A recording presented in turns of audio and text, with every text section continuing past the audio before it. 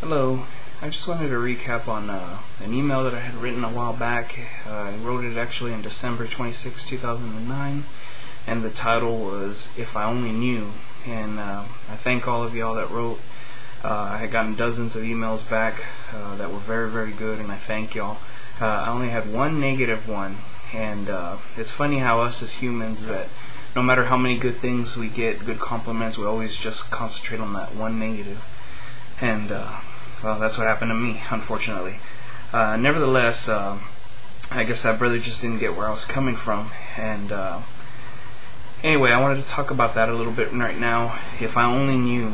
Uh, the point of the email was that if I only knew some of the things that I knew, know now, you know, as far as the word, as far as the word being concerned, um, you know, I might have done things differently. You know, if I had been taught these these truths that are in the Bible, I might have done a lot of things differently.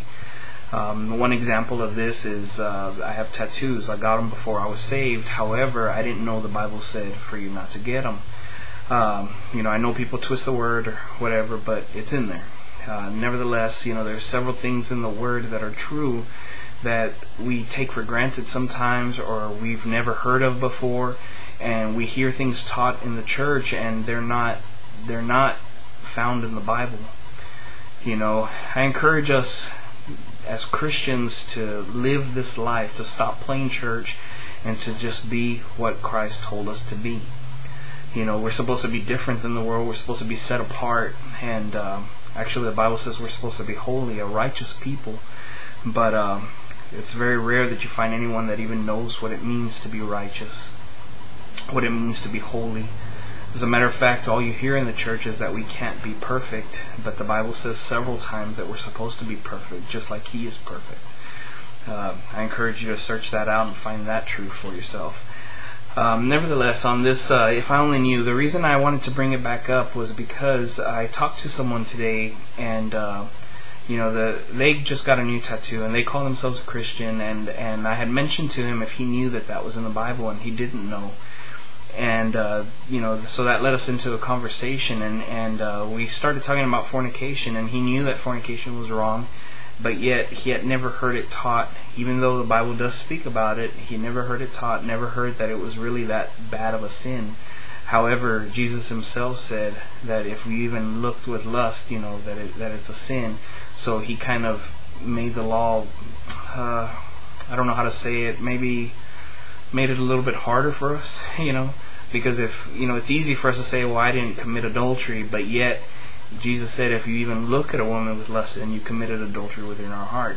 So, you know, even though people are trying to say that the law's done away with, um, it's not, but anyway, people are trying to say that it's done away with, and they try to sugarcoat sins nowadays, and um, so he didn't he didn't realize that fornication was that bad of a sin, and um, so anyway, we talked about it, and and it kind of blew my mind and it kind of aggravated me in a way because there's so many pastors out there that are just not teaching the truth. They're not teaching their flock. They're not even concerned about their flock. You know, uh, you know, the church has become a revolving door.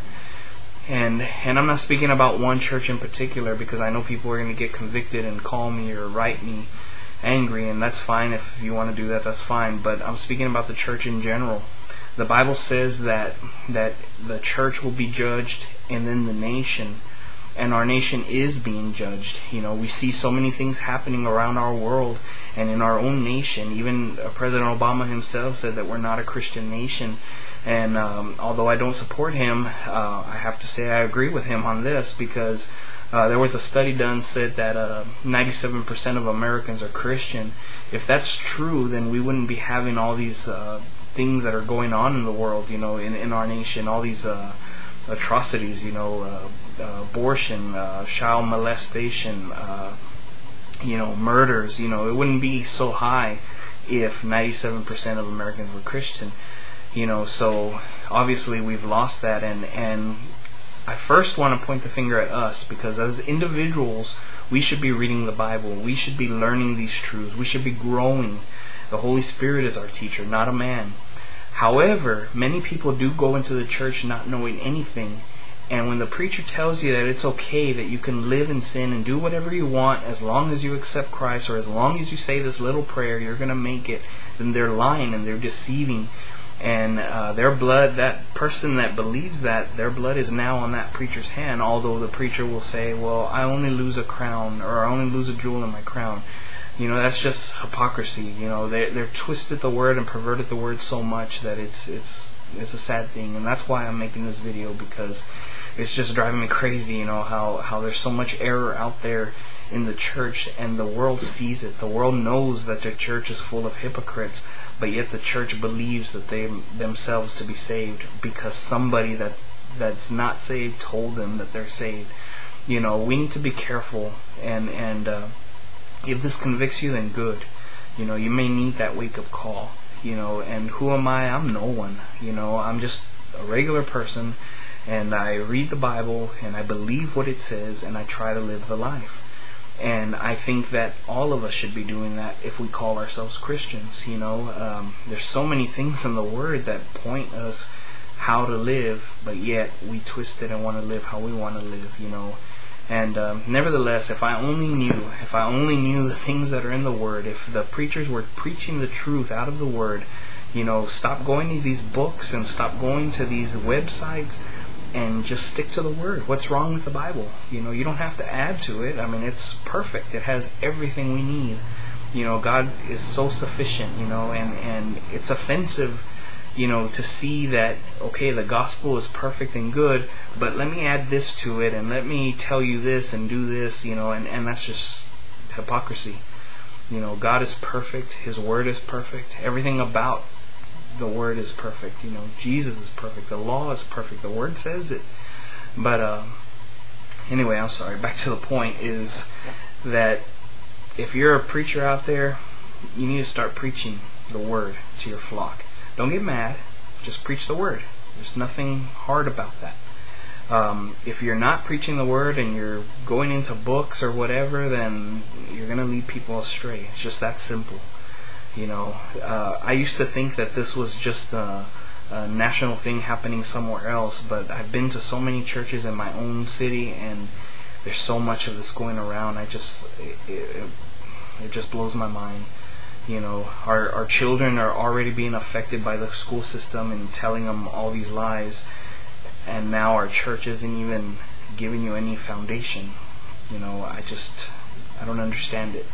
I pray that that people that that are in these positions will repent and just get into the word. You know, the Bible says we're not promised about tomorrow. Today may be our last breath. So what would you do with that? Would you be happy with the way that you've taught people? You know, is your pride in the way to say, well, yes, I'm perfect and I'm doing everything that I'm supposed to? You know, sometimes we think we are and we're not. I'm guilty of this as well. You know, and it takes a trial for us to realize that we are so far from what God wanted us to be. And it's time for us to repent and change our ways. If we're supposed to be a light to this nation, then we should start shining, don't you think?